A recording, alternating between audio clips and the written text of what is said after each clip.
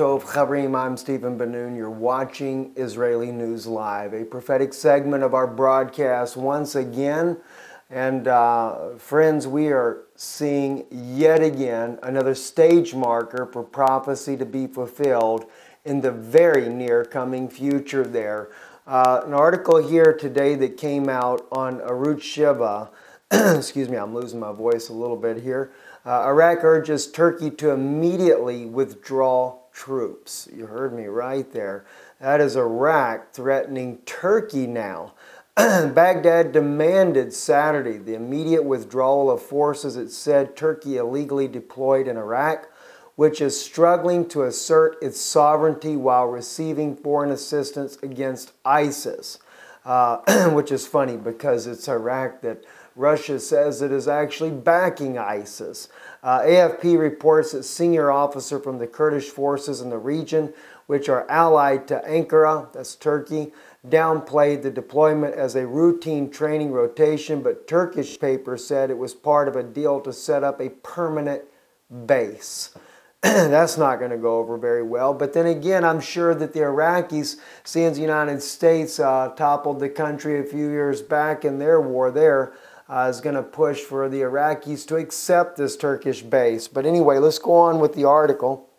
It says the Turkish troops tanks and artillery were sent to Nineveh, a northern province largely held by ISIS in an area currently controlled by Kurdish forces, but also claimed by Baghdad. Now, Nineveh, by the way, friends, is on the, uh, on the western side of the country of Iraq. It is a Kurdish stronghold in the region there, uh, but it is part of the country of Iraq. And uh, to see that Turkey is actually wanting to set up a base there, and also in light of the fact that Russia is not very happy with the Turks and says that they're very complicit with the terrorist groups in the country of Syria. And now that we see that the Turks are going to set up a base in Nineveh inside of Iraq, I am sure that that's not going to go over very well with Russia either. It'll be like a lead balloon, to say the very least. And no doubt that may be one of the places Russia attacks in order to put down the Turks when the time comes that Russia repays Turkey for what it's doing. anyway, let's continue on. Facing a major political pressure as a result of the statements by American officials, Iraqi Prime Minister Haider al Abadi has taken an increasingly hard public line on foreign forces in Iraq over the past week, uh, terming the deployment of ground combat forces as a hostile act. The Iraqi authorities call on Turkey to immediately withdraw from the Iraqi territory. A statement from his office said, We have confirmation that Turkish forces, forces numbering about one armored regiment with a number of tanks and artillery entered in Iraqi territory, allegedly to train Iraqi groups without a request of authorization from Iraqi federal authorities, it said. The deployment is considered a serious violation of Iraqi sovereignty, it added. Major General Nardini Harki, the commander of Kurdish uh, Pish, uh, Peshmerga forces in the area said the new arrived Turkish troops were a part of the routine rotation and training program accompanied by protection force that has since returned to Turkey. Before some time, a number of Turkish officers arrived to train Hashdad al-Wadni forces in the Zakan base, Herky said in the statement referring to volunteer anti-ISIS fighters. Another team arrived at the camp to replace the previous teams. The mission of the new force that came was only to protect the trainers and return the previous team to Turkey, he said. Now you got to keep in mind, Russia already knows that the Kurds are involved in the triangle of the illegal oil smuggling from Syria. And so therefore the, Tur the Kurds are definitely are going to be implicated in this with Turkey. This is why the Turks have soldiers there in Nineveh. But what people don't understand is that there is a biblical prophecy in Zephaniah that speaks of Nineveh about modern day Nineveh and what's going to happen. Of course, this Nineveh is the same Nineveh that God spared when the whole city repented during the time of Jonah. Kind of interesting. Jonah never did say to the city, go out and kill some red heifers and stuff to get repentance. They just had to repent before God. God said to Jonah, tell them if they don't repent, I'm going to destroy the city within 30 days, I believe it was, or 40 days. And they did. The king repented in sackcloth and in ashes. But today, Nineveh is about to be a desolation right along with Syria. Let's take a look at the prophecy here in Zephaniah. Let me take you real quick to chapter uh, 2, verse 1. We'll read to 1 to 3 here to get a kind of an idea of the time frame. And friends, I'm going to have to bring you back here to Zephaniah chapter 2. This deals with everything that's happening right here at the end. Let's take a look. Gather yourselves together. Yea, gather together, O shameless nation before the decree, bring forth the day when one passeth the chaff, as the chaff before the fierce anger of the Lord come upon you before the day of the Lord's anger come upon you. So when is this going to happen? When God's anger comes upon this earth, okay? Seek ye the Lord, all you humble, or actually it's written the meek. Seek ye the Lord, all you meek of the earth that have executed his ordinance Praise be to God, His commandments, that is. Seek ye righteousness, seek humility. It may be you shall be hid in the day of the Lord's anger. Remember what Yeshua said on the Mount uh, when he gave the, the Sermon on the Mount there around Galilee. Uh, the, and he says there that the meek shall inherit the earth. The meek, that is. If you looked at that in the in the lost gospel, he actually says, The meek that keep the humane law, they shall inherit the earth there. Well, this is the ones that he's talking about hiding in the day of his anger. Uh, and he's telling them to seek ye the Lord. You meek of the earth that have executed his ordinance and have kept his commandments. Praise God, this is exciting to me. Now, because then he goes into all kinds of things that are happening. Gaza is forsaken. You see, Gaza is there to attack Israel, and it's true.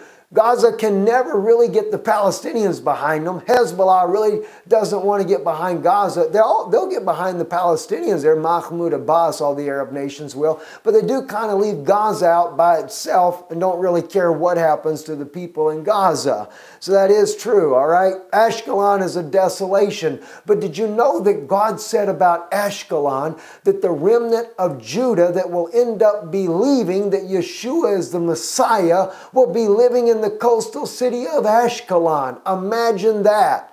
That's something that is certainly to be thought about. Let's move on down, though, quickly for this news broadcast. I don't have enough voice to stay longer, but let's go to verse 10 here.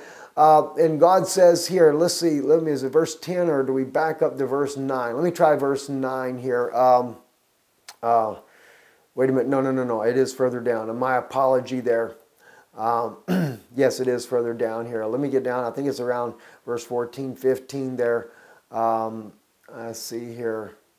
Just bear with me, friends, here. Let me, let me just look at it real fast here that I had marked here. It's actually in verse 13. That's where it's at. All right, let me jump back here to the Hebrew version of this, Hebrew English.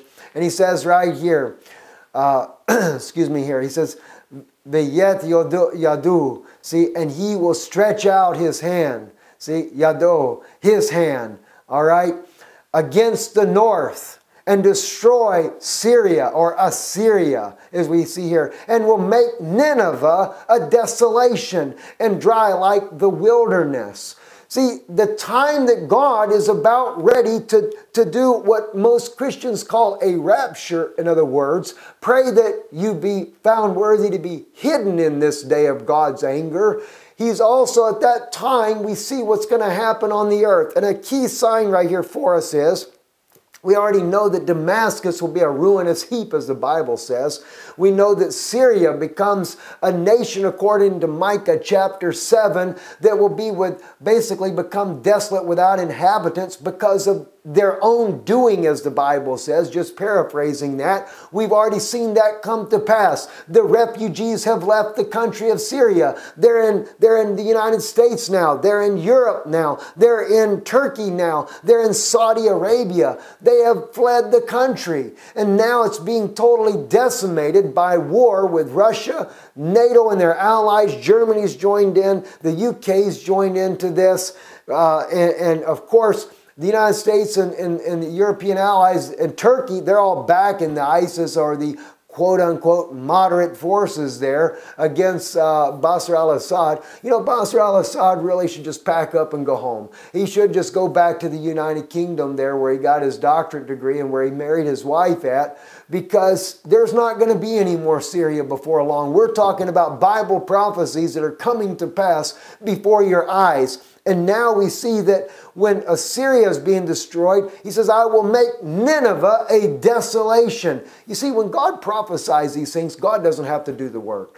The, God knows that the evil of man is going to destroy himself, but he prophesies it through his prophets to let you know what's going to happen in advance. So Nineveh is about to become a desolation, and we can see why. According to the article in Israel National News, they clearly are stating that the Iraqis are demanding the Turks get out of their country. The Turks are saying they're setting up a permanent base. The Kurds say no, they're not. Russia says that the, Turkey, the Turkish are there to back uh, ISIS and their, and their thugs all around the Syrian border there. We know that there's this triangle of illegal smuggling oil, selling it to 15 to 18 dollars a barrel. Of course, they say Israel's getting the majority of it. See, they're trying to get it all blamed on the Jews again so they can attack the Jews. You know where the majority of it's really going? It's going to the NATO members in Europe. It's Germany. It's not only Germany, it's France. No wonder why they're involved in attacking these countries now to make it look good. Well, we didn't really really buy the oil. Yes, you did. And you made a lot of billions of dollars for your wealthy people while the people that are buying your gas at the pump is not saving any money whatsoever, especially in Europe. I don't know about the United States. I hear you had a little bit of drop in prices. Maybe they decided to be kind enough to pass a little bit of the savings on to you, but still, they still made billions. You can count on that. But anyway, Nineveh is going to be a desolation. And I guarantee you, Russia has already said, uh, President Putin made it quite clear. He said, if you think sanctions is the only thing we're going to do in response for shooting down down and killing our pilot? He said, You are sadly mistaken. He said that to Turkey. So I can you can count on one thing. Russia knows Turkey's got that base there over there in Iraq, and it's going to be open season very soon. God's going to fulfill prophecy. And who knows, maybe Russia is playing a big part in God fulfilling some of these prophecies here in the Middle East. We do see that they're helping to bring down Syria single handedly as they bomb the country, wiping out ISIS. They're taking out everything in its path right along with it. And it's just a matter of time, friends. Prophecy is being fulfilled, and I am so excited to be living in this time and seeing it. The two witnesses coming on the scene. That news broadcast we did yesterday, YouTube is trying to suppress the views. You know, it's at the same amount of views this evening as it was after only eight hours of airing, and now it's been nearly 24 hours. And there's over 300 and something ups, there's over 100 comments. When we have that type of ups and we have that type of comments, friends, these videos are already hit 8, 10,000. I guess we said something they didn't like, that their climate control was actually being set in motion in order to try to stop the two witnesses. Because you can count on one thing, like Obama said, if suddenly we get five, six, six, seven feet of the sea level rising, we got a problem. If all of a sudden, suddenly, these breadbasket belts that are on the earth suddenly can't produce anymore, we got a problem. And he likens it into terrorism. Well, you know what? They do know. The Pope Francis knows that the two witnesses are coming. Of course, they have their own little idea that Jesus and Mother Mary are the two witnesses. I saw the website someone shared here in our comment section there. I, I think I approved it so you guys can get it, give you a good laugh anyway. But uh, no, the true two witnesses, the Pope knows there are two coming, and they know very good and well it's not going to be church at all, and it's not going to be very pleasant. they know what's coming and they know that the, their number will be up as well. Satan knows he has a little time. I'm Stephen Ben-Nun. You're watching Israeli News Live. Shalom. God bless you. Thank you. Thank you for standing with us. Support this news broadcast. We need your help to keep this going. We're going to step it up a notch. God bless you. Thank you. You can go to IsraeliNewsLive.org and you can contribute there. We love you. Shalom.